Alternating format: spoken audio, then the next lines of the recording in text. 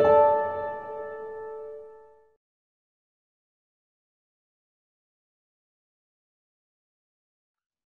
everyone. Um, hello, welcome to our launch this evening. Uh, my name is Jasmine, I'm from Carcanet Press, and I am absolutely delighted to welcome you to this launch tonight. We're launching previously unpublished work by John Ashbery, Parallel Movement of the Hands, um, which has just come out as a Carcanet Classic. Um, we're joined by Emily Skillings, the editor, and we are also joined by Oli Hazzard. Um, you may know Oli as a Carcanet poet. His most recent collection with us came out in 2018. It's called Blotter. You can find it on the website, which you should. Um, he's also written a critical book on Ashbery, and his first novel, Lorem Ipsum, just came out with Prototype. Um, so you should seek his work out also. Um, I am not going to talk to you for very long, and I'm certain you all know how these events work by now, but for anyone who's new to a Carcanet event, um, we'll be here for about an hour. Um, so you're aware, I will be showing the text during the readings. This should make it easier for you. Um, have a play around with your own screen. If it's not to your liking, you can reconfigure that um, to suit your own needs please find the chat box and say hello to us. Um, we can't see you, so I'm sorry you can't turn your cameras on um, and we can't see your faces, but find the chat box, say hello to us, let us know what you think of the reading. Um, and further than that, we would like you to get involved um, by finding a different button, which is the Q&A button.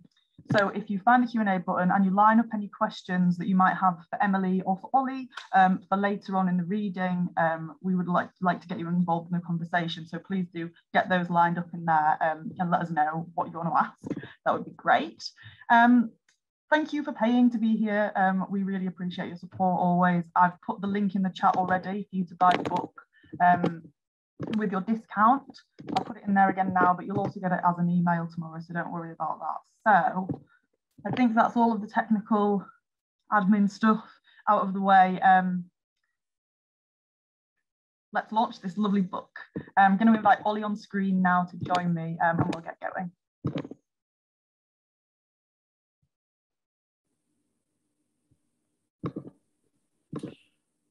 Thanks, Jasmine. Can you hear me okay? Stuff. Um, so this uh, book parallel movement of the hands um, collects five uh, of John Ashbery's uh, long um, or serial um, poems which he left unfinished. Um, and it seems to be a really remarkable book for a number of reasons. Uh, first of all, uh, because it contains five extremely beautiful, funny, engaging, surprising poems, um, but also because it transforms our understanding of a major poet in a, a single gesture, um, particularly the late period of Ashbery's writing, the last two decades. Uh, I, like many other of Ashbery's readers, had been working on the uh, assumption that he had essentially abandoned longer forms um, after the publication of Girls on the Run in the late 90s. Um, so it was extremely surprising for me to um, discover that this book was going to be published and to read these uh, amazing works which interact in such interesting ways with the work that he was producing contemporaneously. Um, it, as you'll see, these poems uh, include some material that found its way into other of Ashbery's volumes that he did publish in the noughties, um, but they stand alone as independent, discrete works as well, which allow us to, to uh, throw a new light on, on, the works that we know so well. Um, this volume has been edited um, immaculately and imaginatively by Emily Skillings, um, who has done an incredible job, um, not just producing the text um, and, and finalizing them, but providing this generous set of appendices, uh, which allow us to follow the often recondite references with, with which Ashbery populated his poems, um, and to add some explanatory glosses. And also, it's got an amazing editorial introduction as well, which provides this really moving account of Emily's process um, in terms of um, developing this text um, in collaboration with many others. Um, I'll just introduce Emily briefly and then she'll uh, read from uh, the book um, so I will just tell you a little bit about her. Um, Emily Skillings is the author of the poetry collection Fort Not, uh, which Publishers Weekly called A Fabulously Eccentric, Hypnotic and Hyper-Vigilant Debut. She is a member of the Belladonna Collaborative, a feminist poetry collective, small press and event series in Brooklyn. She received her MFA from Columbia University School of the Arts, where she was a creative writing teaching fellow. Skillings was John Ashbery's assistant from 2010 to 2017.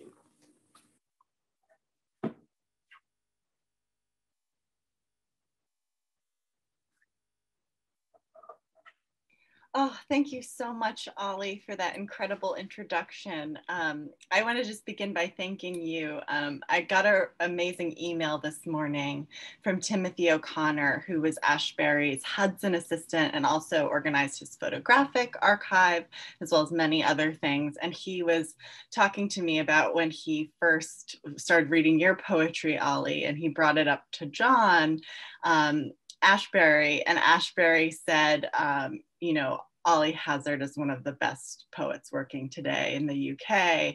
And I remember part of my job working with Ashbery was was doing correspondence. And when it came time to respond to you, to one of your letters to him, he would get this glow. You know, sometimes he didn't want to always respond to everybody or he had a lot of work to do, but he would always say, oh, can I respond respond to Oli first? Um, and he would get this kind of glimmer in his eye when he got to respond to one of your amazing emails.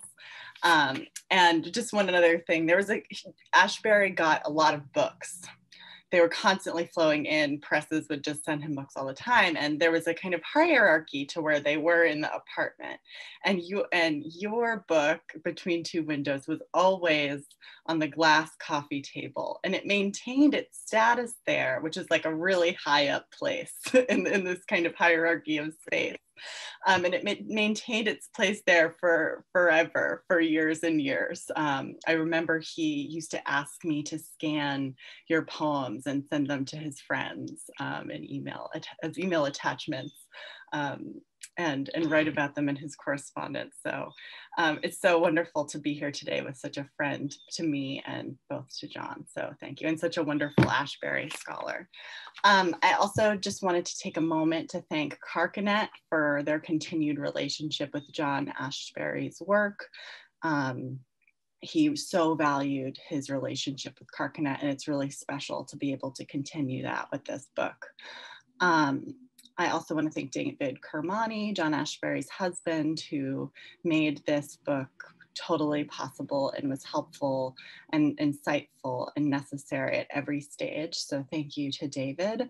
Um, at Carcanet, I just want to quickly thank Michael Schmidt for, for his longtime friendship with Ashbery, Andrew Latimer. I want to thank Tibor de Nagy Gallery for the high res um, reproduction of this Ashbery collage um, that that they they granted us permission to use on the cover, which I think is so special. I especially love this little strawberry in the corner. It's like one of my favorite things.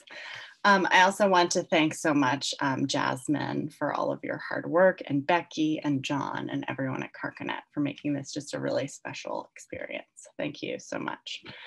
Um, I'm going to begin my reading tonight from The History of Photography, which is a long poem written in 1993, so a little earlier than some of the other works. Um, it was probably written around the time that Ashbery wrote the poems and As the Stars Were Shining um, which I believe came out in 94. Um, it's a long poem and it goes through, you know, the history of photography, but it's not about photography as it's an Ashbery poem, but it uses it as a kind of lyric tether. Um, Ashbery makes reference to Mapplethorpe, Atget, um, Eadweard Muybridge, all of these pioneers um, in early photography. And um, and so you'll hear some of them in these first sections, but also he's talking about lots of other things as Ashbery does. I found this poem in the basement of Ash Ashbery's Hudson home. Um, and it was quite a find. I was already putting together this book and it really, to me, kind of rounded out the collection um, when, I, when I made this find. So from the history of photography. First takers, first makers, The first sip of intelligence splits the diapered sky, already crackled with the losses that events are. At the old tree house, one is clogged with sleep in any case. Dust garlands that sway like chains of mice. And up from under the palaver, there is golden food. So let it be clean at least. The first person to be photographed was a man having his boots cleaned. There were others in the same street, but they moved and became invisible. How calm I am.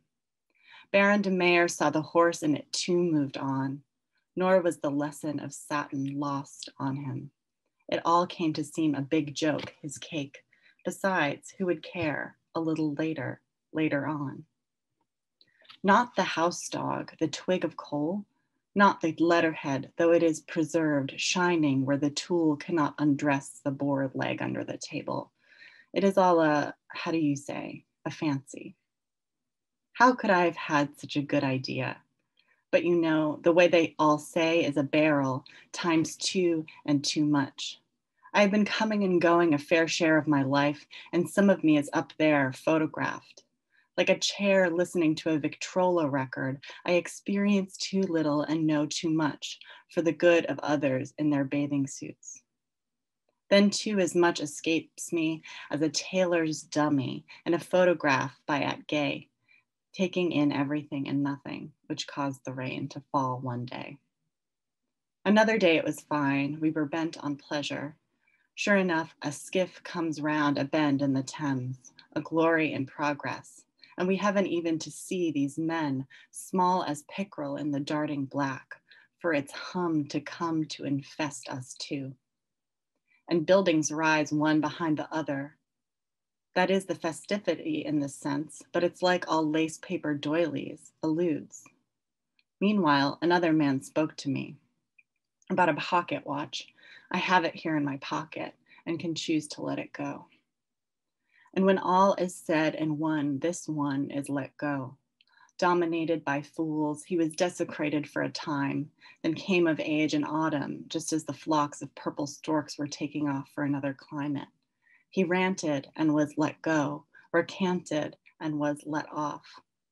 The slow burn is thus the face's fixture, what it needs and has to tell. Everyone understands that as a convention, born to pester yet never released, never owned up to. Oh, but I could call you and you'd come over never made a dime at the swamp, and some liken it to haze as distance is draped in the mind of the feeling man, who then gets his share of surmise and stumbles off to bed, a fool in time. Two. Francis Frith released the pyramids. Negre produced the ogival mysteries. Mapplethorpe, the dissenting penis, oh astigmatic, in whose lone eye a chain of flattened stereoscopic eateries atones for alternating dark and light bands, whose subtle pressures never made it into history. A time of sad busyness climbing into sadness for the view, always the same. But while I need, well, but while all I need is breathiness, lesser demons thumb their noses at the moist parade. Even that notion insinuates only a door to be discovered sooner or later. Meanwhile, what about the decoctions of nature? You know, nature, that some were swinging already. It was, in fact, the door to the great treasure house, noted for its treasures. And all I heard was one goblin say, Grace under pressure is the only reasonable account it can give of itself. But whence comes this pressure? You want breathiness? I'll give you breathiness, but I still maintain a drop of evil, colors, causes, and effects with an ambition wholly beyond ambition, and that the sorrow is buried there. Tomorrow, though, we'll leaf through the others, see what can be patched up, and what kind of sticking tape devolves to this vastness and would be vastness. But what, it would have turned out differently anyway, besides which it already happened. Two were in the rain, the life ballooned up through them. Light was as shoes to a frame of mind. The wind didn't know what to make of any of it and didn't realize it was invisible, which would have helped if it stumbled into a garage, disturbing the ashes on a mechanic's cigar. Then, what time? What tigers? Any of us were giddy. And it was at this point, always, that the light failed, like bunting, drooping against a building's dirty facade. Make that two epitaphs. Some came up to embrace, i.e., kiss you, and absinthe was sipped, a, a wry duet rehearsed, as from the corner of the room a cat emerges, slinks off, possibly to play. More girls kissed us like a fire climbing in a chimney, the song broke, then paused. Was this today ended, this event? Or could we carry it with us always, like a charm bracelet, I'm afraid some of us need redemption more than others, while you, my little man, require but a slice of recognition cut from today's loaf. Here, take it and be gone with you. And the others, there are always more others. Construe it by fanning out over an immense field, some so remote they seem but wicks, while others resemble entirely the people they've become. Look at me, I ask it only for my clothes, the coat and hat I'm wearing. It must mean something. And my plaid scarf, that must mean something too. Only one, for, only one forgets the orneriness in which we bathe and as in tedium. And this, all this, the background tends to bring out. The foreground is something else again, though not enough co commitments or evidence to cast it as a slow moving lava like meaning with some grid sketched on it. And it turns to dust when you touch it. Still, there are people here and frying sounds and smells. You don't get out of it that easily. And just staying here, contemplating a watch or a resolve isn't easy either, though it can refresh like bells rolling in a sulfurous sky, luminous confections that walk you home, prop you up against the front steps, and tiptoe off. Be thankful for this. I saved you. As some rich woman on a winter's morn eyes through her silken curtains the poor drudge, who with numb blackened fingers makes her fire at cock crow on a starlit winter's morn, when the frost flowers the whitened window panes, and wonders how she lives and what the thoughts of that more poor drudge may be. In just such another way, from a far anticipated world, I beg the reader's indulgence. I, so far it has been formulaic, from the French formule and lake, just as sitting out on a journey to a fixed point is, with no notion of what comes in between and without fortifying oneself with a cup of broth. What about boating? I prefer the train. At least you know it gets you there eventually, barring some loathsome catastrophe. It has the ground under its feet, so to speak. In a boat, you are never sure of arriving or making any progress. You could be moving backwards into a dank netherworld, not of your imagining or anyone else's, anyone's else. So let's travel by water, if you please. The light glancing off the darting waves is reward enough for any fatal inconveniences we might inherit with a shrug. And so all is vapor and threading passages through some insufficiently imaged context, a clutter. Then stay. Monotonously rings the little bell, Eakins, skunked by depression, opted for cheese rinds, a lorry driver's running balls. These are things that cannot be painted, pole vaulting figures, Muybridge's hopping woman, because one vignette sheds another, cancels its own credibility in a fever of slight adjustments, ends up a mass, twisted. It's like corn popping. And yes, I bet I know it's higher in the petrol scented wine we all end up quaffing, even getting to like. Look, Jack, I know you're my assistant.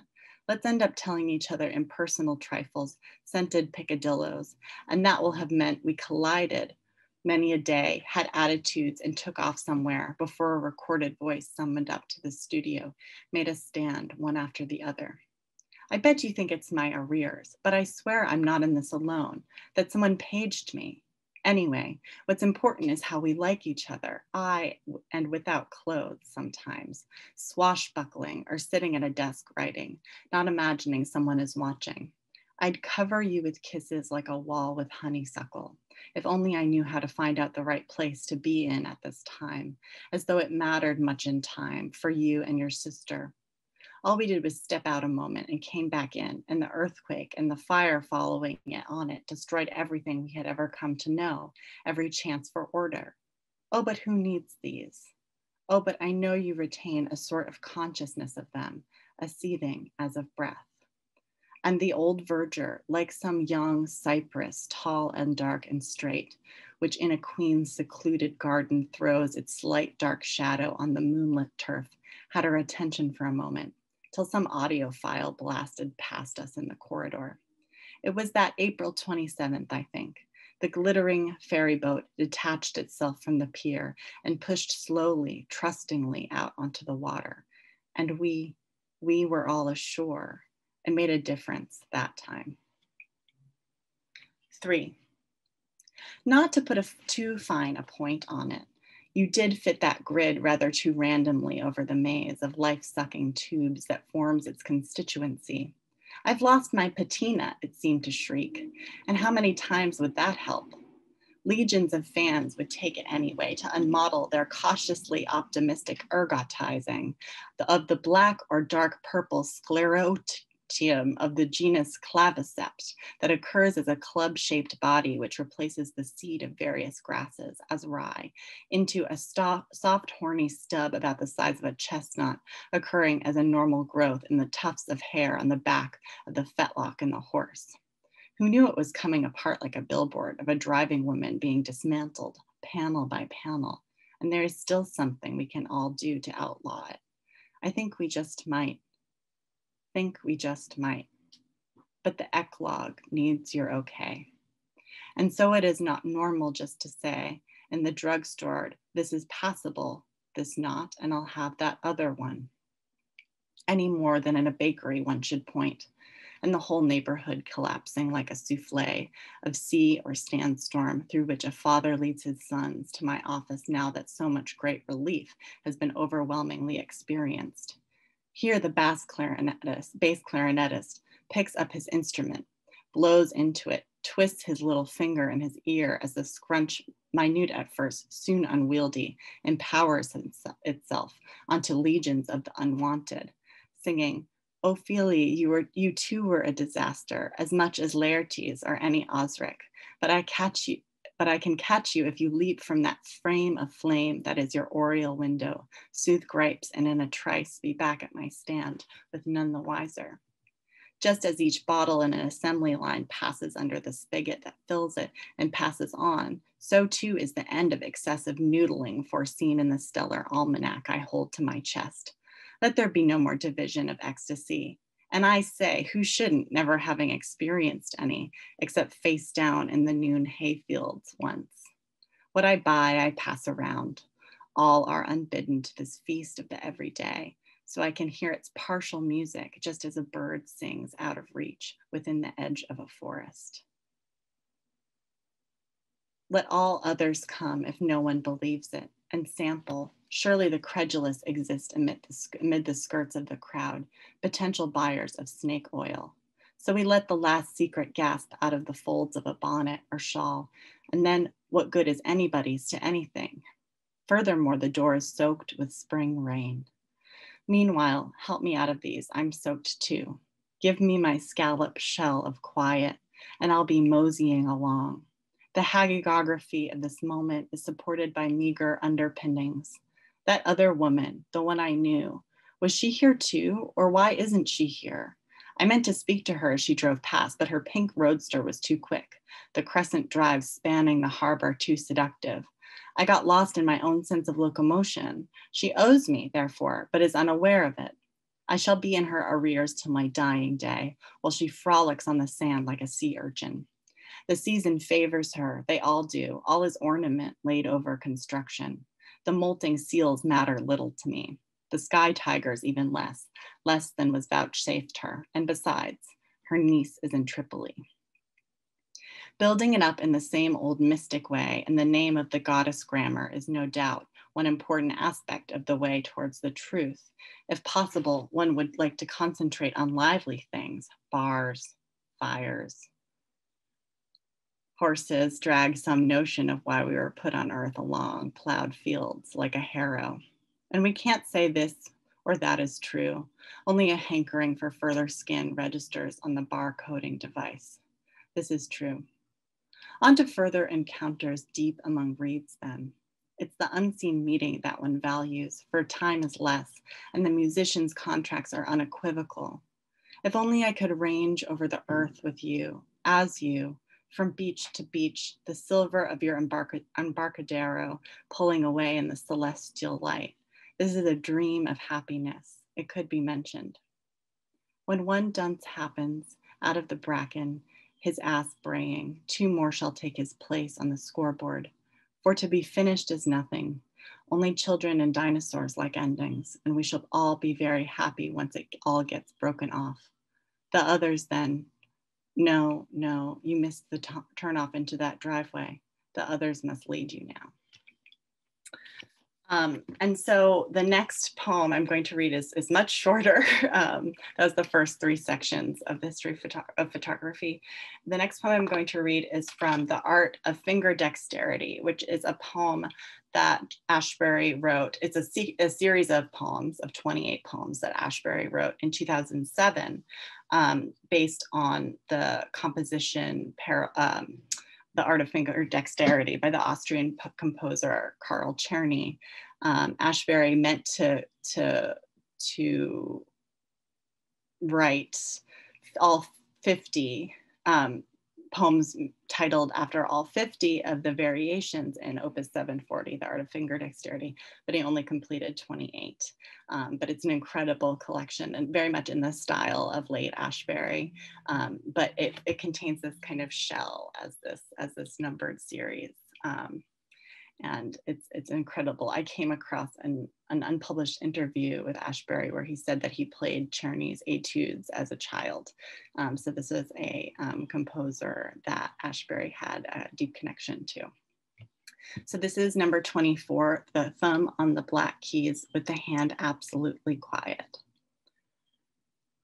Instead of having to stand, you projected on me your persistent language melody the waters of the lake were roiled, came undone.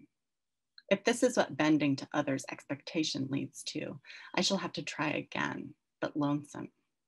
For the waves that came along were the same as those of many years ago, as though time had dropped a stitch, which became the world we had always lived in, cheerful and dumb. I am all alone, you said, yet truly there are worse things to be, unfriendly or ungainly. As it is, you sing out of all the holes in the tree. The world is terracotta, and this rabid citizenry is now coarse and at peace. Like us in a persistent century down the block, when all kinds of ideas were beginning to exist and is quickly shriveling to naught. After that came a break, of course, there had been a misunderstanding. It was probably better to mention it now when the light is golden than wait till its energy has been siphoned off. So it was that we became partners, fated never to meet this side of the maelstrom or the falls, yet glued in an impossible intimacy, as though the plot of an opera had come undone and some spear carriers gotten carried away, mistaking the bell tower for Mount Olympus and the flocks for Venetian pleasure boats. If one could but see it clearly all over again before closing down the exhibition permanently, why our tickets would be good as new, refundable as a corsair's booty, but twice as glamorous. Thank you. And now Oli is going to do a little reading.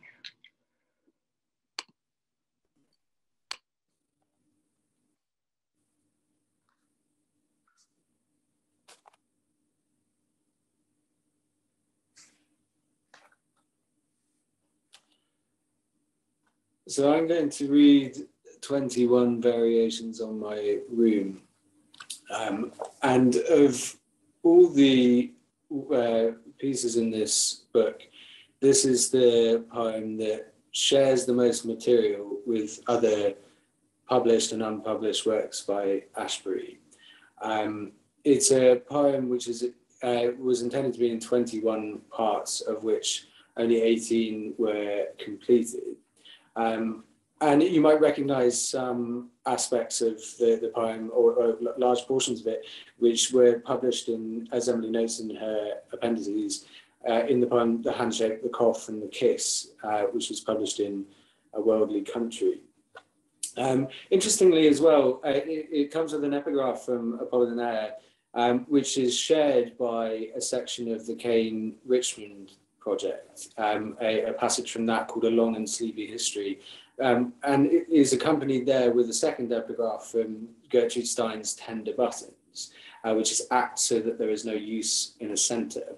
And one of the things that that um, tells me is that um, late in his career, Ashbery was really thinking about the um, the domestic space as a, a, space of experimentation in the way that Stein saw it, um, and, and a, an area of real potential productivity. Um, the epigraph from Apollinaire is Ma chambre à la forme d'une cage um, from his poem Hotel. Um, so I'm just going to read this now. I'm not going to read the numbers, um, having uh, gone back and forth about whether or not to do that. Um, so just uh, since you can see them, I won't read them. The single best way to do it, resoned and unresonated, take back the adjectives out of the pure blue sky to any functions at all, cheap and solid and fun. The single best way to do it, you don't have to wear wet pants. I'm sure you do. Laws of enclosure are wonderful opportunity. You have an infected lip. Home on deranged is all. Homage to boys who won, not sparing the dull token of grief beyond all the wisdom who won then are no longer clear ours, making them weapons like a good grill for outdoor cooked meals on a closet shelf, peace and a sheaf of mental notes to put misery out of its misery. We need to crawl from the gravel drive over to the garage. Newly ornate wheels like creeper, bands of brick, moulage, stammers, masonry from where last let go, the palette of palace, overcomes evening do's and don'ts. In my dream, I was in Paris, upstairs in a large, rather shabby house. Someone downstairs had called for a cab. It had arrived, was blocking traffic. The driver seemed lost, and there were already passengers inside. Did I know where the cinema Crito was? Oh, yes, I said confidently in French. We climbed in next to the others who were nice, disposed to receive us. Every year at this time of day, I get a feeling of a pain like roses and dried figs. Nobody needs to know what is ailing me, which is sad, but telling them would be worse. I say, Would you mind if I light up in bars? There's no place left to smoke. I wonder about taxis. I used to smoke in taxis because it was forbidden in the subway. That was before I gave up smoking, watching the flies or files drift upward, upward wretched in grey dusk. And if a child came over to play, it would be asked its name, then given a dose of brandy so as not to play anymore. We risk it anyway, out on the ice where it darkens and seems to whisper from down below. Watch out, it's the Snow Queen, no one said. She likes playing as long as she's not involved. That seemed to make sense, but what was I to do with no trains till next morning and a good sense of humour, someone said. Next day, the hills were parchment good to look at from far away, which is where we always are anyway. I dressed hurriedly, consumed a hasty breakfast. Now it seemed there were pairs of people thronging, telling me what to do. As you know, if there's as you know, if there's one thing I can't stand, it's that. Turns out I don't stand it. People were treating me nicer as though I'd stood up for myself, which is something I'd never do. Father in his little house took a bath. It was almost time for the news. The trolley arrived in time for dinner. Next day, a disoriented child told you where to look for the cash under the sofa. We took a walk toward the cathedral. It missed us twice, I think. The pavement of white chocolate curves around the angle and is lost. Turns out it's lost. A patient's or what happened is what the first place is considering zebra crossing. And that doesn't include possible others that may have been reported. I'm ice in the house, and not the first either. Tad, mighty, I'm forever yours. His wings caress me nightly. Turns out the bill was sent, but to the wrong address. We have no credit rating anymore. We must try to live without it, and the unsuitable caresses of oldsters gone to the gym or the country.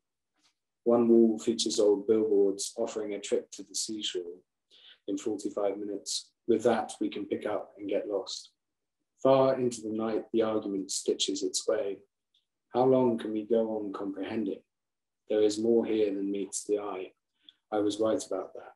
And in the name of solid fun, how much more decency can these elastics take? Plenty, unfortunately.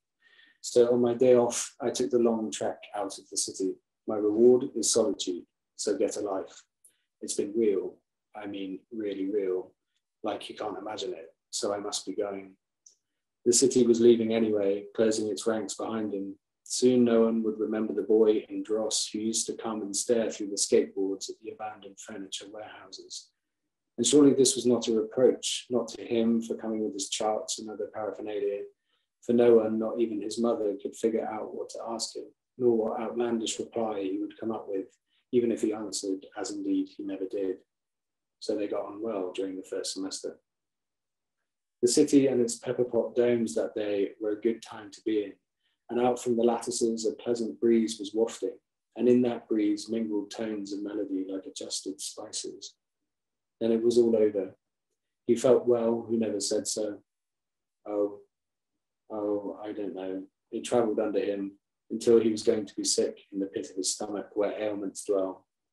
Nobody had to remind the boy to hang up his shoes that day. He was already in them, hobbling off to the cobbler's to buy some new laces of the kind worn in the port city of his birth, but never seen this hour of the flying kite and the spitball hanging down, trying to unlatch the year.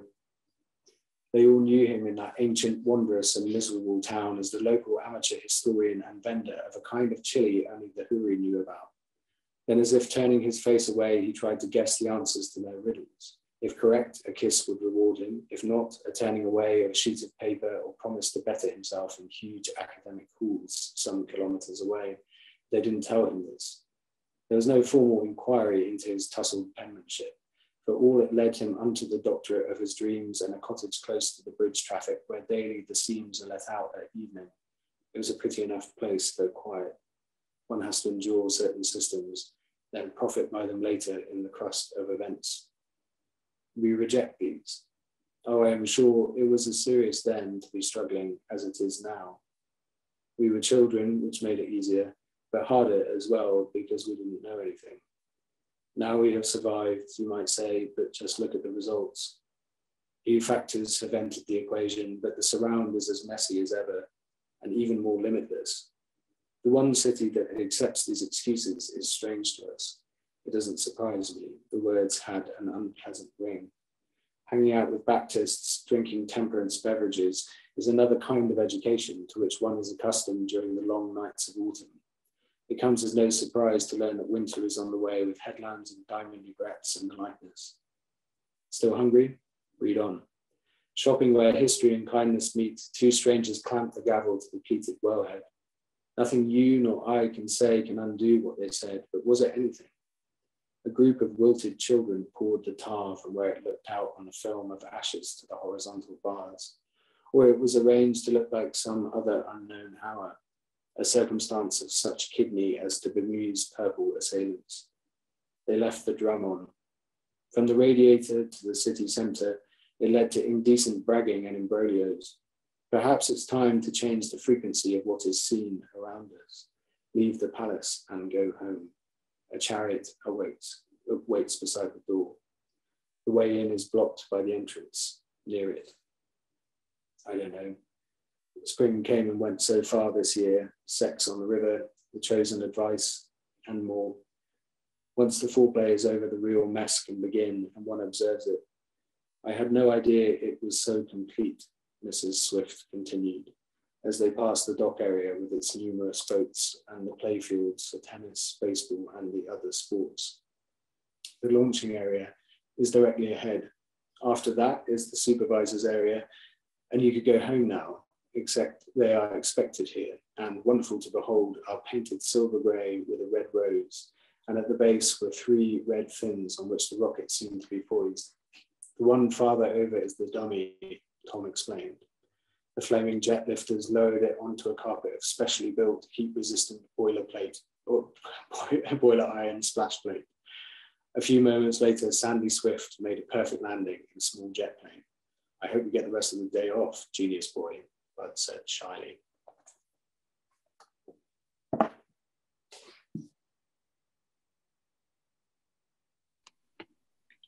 Thank you much, so much, Oli, for that amazing reading of that poem. It's so interesting that, as you said, it shares so much text with other poems, and it's it, and it you know it was really interesting to see how Ashbery transitioned from this poem to the handshake, the the Catholic kiss, like what was shed and what was added. Um, so, I, and I'd never heard it read aloud, so it was really special. Well, and thank you for your amazing reading as well. Um, I, but I, I, just wanted to ask a couple of questions um, while we have time. Um, you, you started your reading by describing the circumstances in which you first encountered the history of photography, which frankly makes me um, panic a little bit. The idea that there's this poem just in Ashbery's basement, potentially undiscovered. Um, can you tell me a little bit about how you encountered each of these works, and, and when was the moment where you first thought that maybe they could be joined together and, and turned into a publication? Thank you for that question. um, makes me nervous too.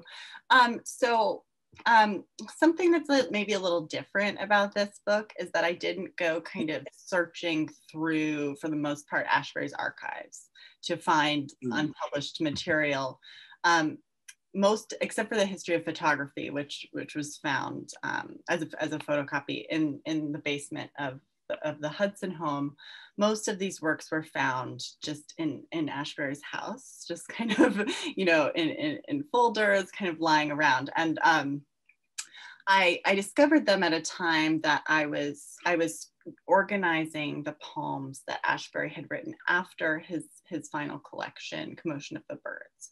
So I was photocopying them. I was making sure that all of his changes had been integrated. Some of them had been published in periodicals. And I decided, um, along with David Kermani, oh, it might be interesting if I went back and, and found some of the poems that Ashbery hadn't included in his in his collections over the years that he had liked, that he had published in journals, but just hadn't included in books. And I go into the introduction why he didn't include some of these poems that he really liked in the books.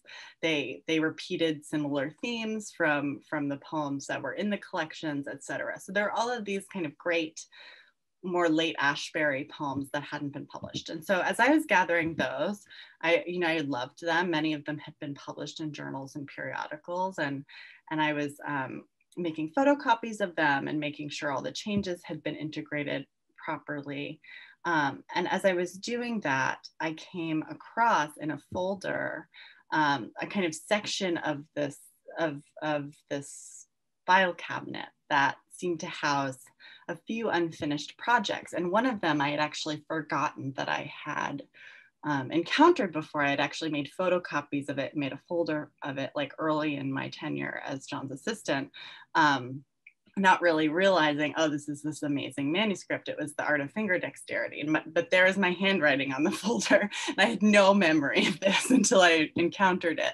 Um, it was during a time when I was really sad and very much still mourning John. And I was helping to pack up um, his and David Kermani's apartment in New York City in Chelsea.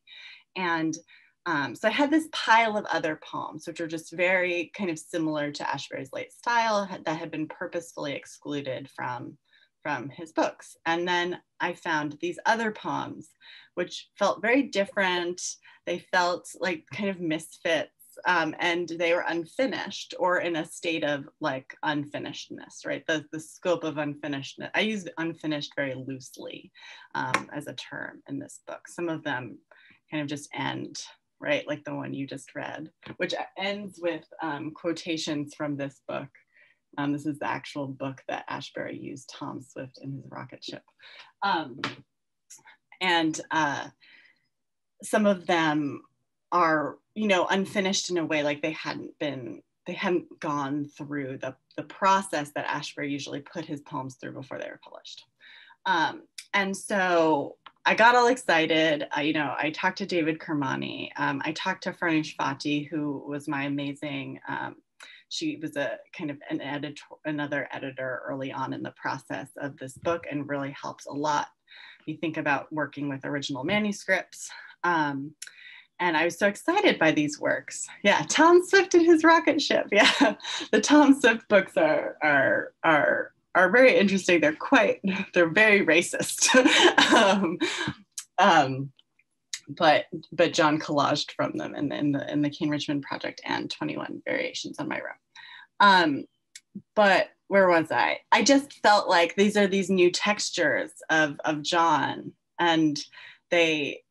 Um, I talked to Eugene Richie, who edited his selected prose and was one of his dearest friends, um, and co-edited his collected translations. And Richie was like, oh yeah, I remember these works. I remember John writing these works. I think he didn't publish them because they didn't fit in with other things that he was writing at the time.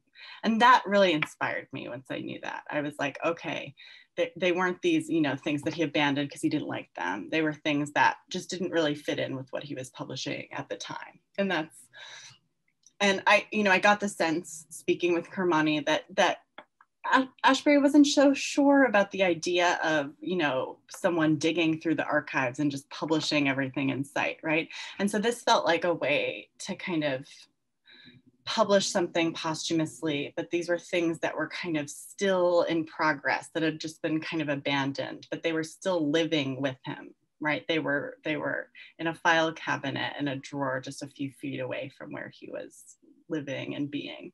Um, and it, it made me really consider this idea of like what stops a, a, poem which is a question i ask in the introduction it made me really reflect on why i've stopped writing things um, or why i mm. haven't you know included things in books so yeah. that's so fascinating emily um, and this idea um, that these poems have a kind of particular value because of their ongoing state, their kind of openness, their unfinishedness. That's so interesting because, and for, for me, again, like um, one of the things you negotiate really um, clearly and openly in the introduction is the problem that, as an editor of Ashbery, is that his aesthetic in his most finished works um, always includes this like streak of unfinishedness, right? Um, in, in the ways that you describe. So um, you, you, you, this kind of um, the question of the, the final status of these works crystallizes around that, that single term, uh, unfinishedness, which you prefer to um, uh, kind of conclu- uh, like conclusiveness or, or incompleteness. Um, yeah, so I, am I'm, I'm also interested in how you, just on a like practical basis, how you decided how to finish these texts, like because you had to make editorial choices, didn't you, about particular words? How did you approach that? It was very difficult because you know when you're um, Rosanne Wasserman taught me the the the phrase crux like a, a like a crux in a, in a manuscript, right? You come to this thing that's a problem, right? It's a, in the manuscript, and um, they were so exciting to come across. And one that I just read um, in the history of photography, Ashbery writes, "When all is said and one, O N E, one is let go," and I had to think did he just leave the D off? Is that when all is said and done? and I thought, no, you know, John love, you know, would love to play with a phrase like that. And so it was really a case by case basis. Um, and you know, I've been an editor for a long time, but I've never worked with original manuscripts and especially never worked with original manuscripts when the author was not present. So I wanted to tread very lightly and err on the side of what was there. And that was something that Farnoosh Fathi really taught me how to do. Um, and she in her work editing the amazing Joan Murray book that that she did. Um, there was a there's a great moment in the um, in the Kane Richmond project where there was a word that was spelled in a way where it could either be omnipotent or impatient. And even John didn't know what the word was. He had written omnipotent question mark, impatient question mark. And I wrote it out like on a big on a big piece of paper and like pinned it to my wall and you know i did i did come to the conclusion of impatient um, because of context and because of the misspelling the, the word impatient was was closer even though it started with an o. Um, but so those are just some examples of, of places and they were really fun. Like it was so fun to, to figure out which word i was going to use but then for really significant ones like impatient omnipotent um, I wanted to leave an, a, a, trace in case I was wrong. Um, and so that was mm-hmm. kind of the reason why I started the appendices. And then I, you know, for fun, added some references, although I did not do as a, an exhaustive job as like, you know, say Mark Ford in the Library of America, who has these wonderful and really comprehensive notes. Mine was just like, kind of what I wanted to look up. um, but but yeah, it was really fun, but it was really hard, right? Because it limits possibility um, in the mm. text. Um, and John is all about, you know, openness and, and possibility. So um, I tried to, to tread lightly, as lightly as possible and really trust the manuscripts. But then when something was an obvious error, um, I know John wouldn't want an like an obvious error in a poem and would never have wanted that. So those things I mm. just kind of cleaned up. yeah. That's so fascinating. Um, I think the, the, the, title of the book kind of captures that um, sense that what we're offered here um, through your kind of editorial intervention, intervention, but also through John's own practice of re- revision, recycling, and reusing of material, is the sense that there are these kind of multiple iterations of a text which occur and continue to exist simultaneously. Um, which is, you know, why this book is such a pleasure and so enriching um, and instructive um, for, for all of us who love his work.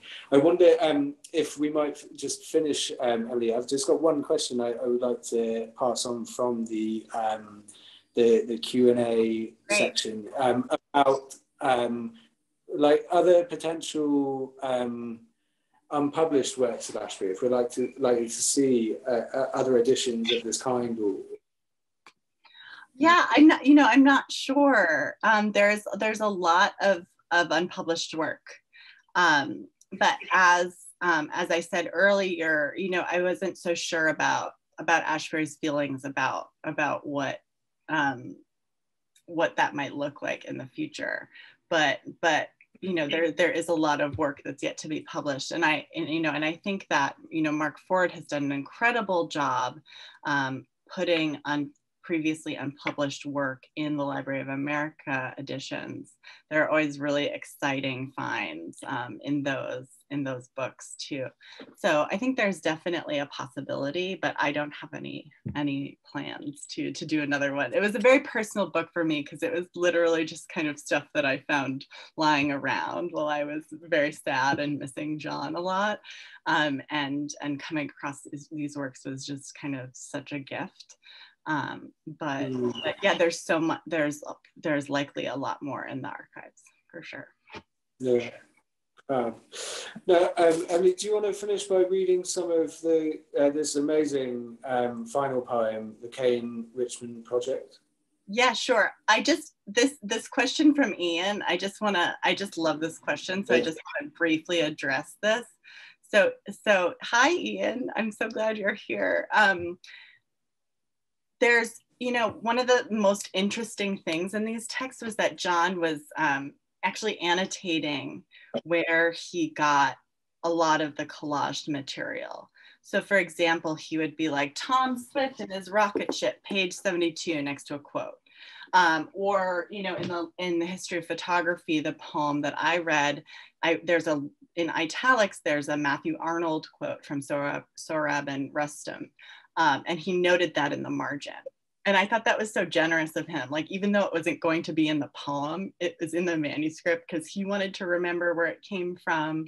Um, and he obviously wanted someone else in the future maybe to to know where he was pulling this material from um, these poems are so intertextual and so ekphrastic but in, indirectly ekphrastic in the way that ashbery is always ekphrastic um, and so I got the sense that he was just pulling things, you know, even in the last manuscript, maybe pulling things from Turner Classic Movies, you know, films that he had seen. Um, he has that great poem, They Knew What They Wanted, where every where it's all movie titles that begin with they that he got from a from a film guide. Um, so he was he was just such a voracious consumer of all different kinds of media and things just really stuck in and they stick in the poems. Um, so it was great to get a sense of that looking at the original manuscript, which is why I wanted to include some of the facsimiles in the book as well. Thank you for that question, Ian. Sorry, it was just good. I wanted to answer it. Um, yeah, should we read from the end, Oli? Yeah. Okay, great. Yeah, great. So, give me a nod when you're. Um, so we're gonna like round robin this, which is my favorite way to read anything because you get little breaks. Um, we're gonna do a slight improvisation. So this is from the Kane Richmond Project, which is a really weird, amazing manuscript. It was about 35 pages type of typescripts. Um, and it was all out of order. David Kermani really helped to put it in, in a, an official order. Um, and this is towards the end. Kane Richmond, I have a photo of him, was this hunky, look how handsome, was this hunky serial actor that John kind of became interested in. And John loved um, serial films. And uh, the um, book is littered with film references. I couldn't even look all of them up, from B movies to silent films. Um, but some of the characters in it are Kane Richmond, who was in um, many serials um, in the 1940s and 50s, I believe, and um, Rin Tin Tin Jr. as Rinty. Um, but here towards the end, we kind of get to see one of these Kane Richmond serials um, in the poem. It's this prose poem um, mostly prose poem, but then also has lineated sections separated by intertitles, kind of like a, a serial um, text. Um, so we're gonna start on page 172. And I'm gonna read from my book actually. Um, come right in and sit down. Can I offer you something? A glass of sparkling cider perhaps? How it doesn't sparkle. It's a bit lonely here, which is mostly my fault. The window panes are tinted a faint violet, which causes a wistful light in the room that one isn't wholly aware of. I should have them replaced, but they're old and very valuable. A few have been broken and replaced, and the resulting mismatched brightness here and there is unsettling. I'm the first and no doubt the last to admit it. Don't try talking to Doris and Dolores. There'd be no point. They're in a photograph window shopping in Oxford Street circa 1937 or 1936. They seem very smartly turned out, don't you agree?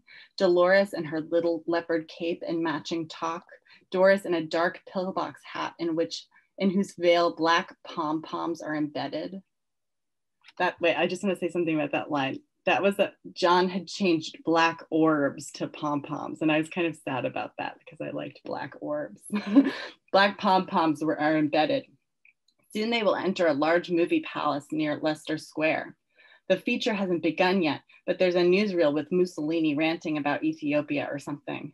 Next is a serial starring the Amer American actor Kane Richmond, a tall, dark, good looking man who seems to prefer the company of horses and dogs to that of men, as well as women. Maybe that's why his shyness seems about right. Dolores is already groping in her purse for a handkerchief. The villains have Kane trapped in a barn and are starting to set fire to it. Then it's all over, for this week at least. The feature is beginning and the music wells up, very lively and somber. It's a romance starring the lovely Greta Gynt. Pass me a mint, dear. I'm afraid my mascara is streaked. It must look awful in this rapid play of flashing lights and shadows. Heavens, it seems the projector is broken. We'll have to wait in the dark. Only they've turned the lights up now. Somebody is going to make some kind of announcement.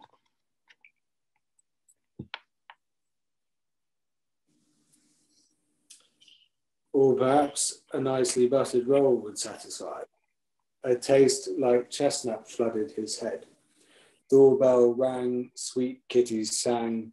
It was dark down in his pants when he crouched over to see where the taunting was coming from, while wee kittens emoted on the floor. There is so much to see, oversee, always. Sometimes it comes in the form of delayed correspondence. Those wilted irises you threw out had been sent months ago by an admirer, someone who knew your preferences, that you liked their limited colour and fragrance. Now it's hopeless to find the accompanying note, unless you remember where you put it. Unlikelier than it seems, though not beyond the remotest likelihood. We shall oversee these, but there will be other collateral descendants, ocean broad, until you get the feeling again. Again, there is nothing remote about it. Arguably, the park light forecasts rangers. Their oxides exit with the clamor of breeze. No one knows how many there are. Nobody has ever counted them, which can seem strange given the iconic presence, but really not so much as having been given over to selectivity and passive anger. What about you? More nuts and bolts to which you wish you was living up to? The strange side riders were there, but no one knows when it could have been a century ago, he assented. Everybody's always been interested in meanders, hero and meander. So I think you need to stand up to door. Have some more rhubarb grunt. Where was I? An unspecified amount. I love this. I love this little moment of Kafka and, and J.A. Someone must have been telling lies about John A. It happened this way. All day long, he would sit on the front porch, watching people and cars go by, tugging on his briar pipe. Except for his meals, which he took at the kitchen table, he would remain on the porch from dawn until it got quite dark, summer and winter, except for periods of extreme cold. Even then, he could survey the, the street through a species of panopticon he had rigged up, which he liked to say was better than television since it was free and never required adjustment. He said this mostly to himself since he rarely spoke to others, having little occasion to do so. He was not one of these people who sit and wave at cars and passersby with a cheery greeting. The one exception to his code of silence was Rachel, his cleaning woman, who came twice a week, and even then his speech concerned mainly practical household matters. One day a fuller brush man happened by, and undiscouraged by John's laconic replies to his attempts at small talk, seated himself in the wicker chair where John would sit to read the newspaper. It was the only piece of porch furniture except for a glider where he would recline and occasionally take a nap, though this rarely happened since it prevented him from observing the activity in the street. Finding that his observations concerning traffic and the weather were not rebuffed, but scarcely encouraged, the man proceeded to expand on other topics such as the decline of the neighborhood. Très modéré. This irritated and frustrated John, who had been expecting a sales pitch for the brushes and had already begun preparing a reply to the effect that he was amply provided with cleaning utensils and employed a person whose duties included ascertaining that nothing was lacking in that department. He had begun casting about for other ways of ridding himself of this pest, when the latter suddenly startled him by drawing his attention to a large package which the postman had evidently left next to the front door, whose mail slot would have been too narrow to accommodate it. What do you suppose is in there? The stranger asked, a bit impertinently, it seemed to John. Oh, it's probably some boots I ordered from L.L.Bean, John answered shiftily, aware as he did so that the package obviously contained nothing of the sort, and that he had just unwittingly opened new avenues in a conversation, in a conversation that was fast becoming vexatious.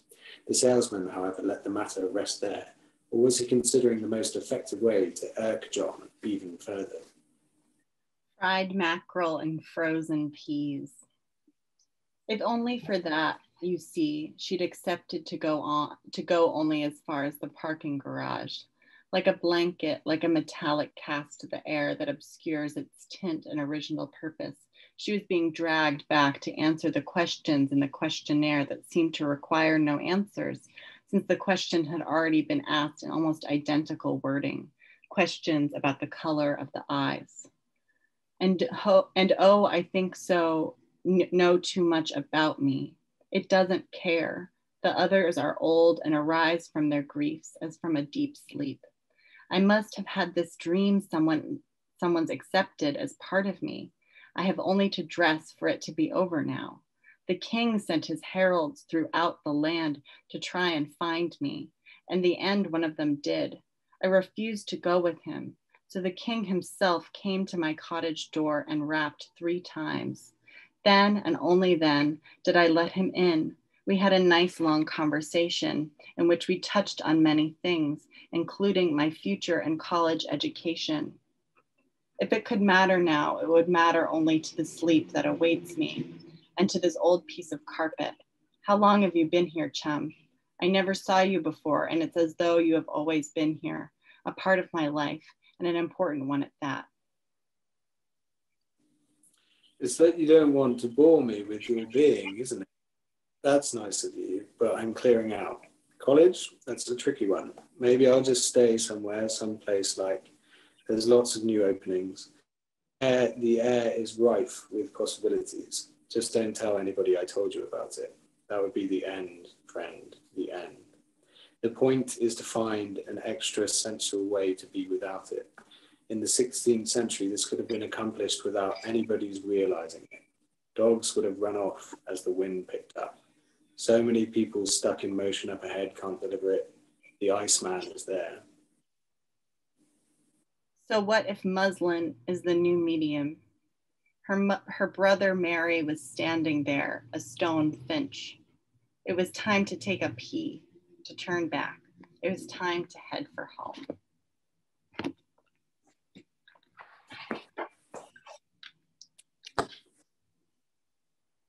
Thank you so much, Emily. Thank you so much. Thank you so much, Oli. In that last piece, um, that doubling of in a conversation, was in the original mm. manuscript and that was something i had to decide whether or not to keep in and i, I opted to keep it in because it it made the, the, the conversation seem all the more like a trap right it's like a conversation within a conversation even though it might have been a, you know a typo i, I elected to to keep it um, thank you so much for reading that with me. And thanks so much to everyone for coming. Um, yes to reiterate those thanks, thank you guys so much. It was absolutely amazing to hear you read those poems. I had such a good time tonight. Um, congratulations, Emily, on publishing this new book. Well done, and thank you so much um, for all the work that's gone into it. Thanks, Oli, for being here and for your questions and your reading. Um, and thank you guys for coming to support and get involved. Um, thanks for sending your questions in. Um, it's been it's been so fun. I, I love hearing those poems aloud. So um, thank you guys again. Um, I know we've run over time, so thank you for sticking with us. Um, let me put the message. I'm, I'm so I'm so consumed by listening to you. I can't remember what I'm going to say at the end of a reading. Um, I'm putting the link and the discount code in the chat for you guys. Check your emails tomorrow. Um, it'll come as an email as well, so you don't need to do it now. Definitely go and buy the book if you haven't, um, and use your discount code. Okay. Um, yeah. um, and finally, the last thing I need to say is please join us again next time. Um, our next launch isn't for two more weeks. Um, we're launching Alex Wong's second collection, Shadow and Refrain. Um, he's going to be joined by John Clegg, so that'll be another good evening. Uh, so please check the website for details and um, we'll see you again, hopefully in the future. So I think that's everything from us. Uh, thanks again, guys, um, and thank you all so much. Um, I'll turn our cameras off. I'll leave the chat open so you can get your last minute messages in there. Um, but that's everything from us. So thanks, guys, and good night. Thank you. Thank you, Jazz. Thank you, Oli. Thank you, Becky. Bye. Bye.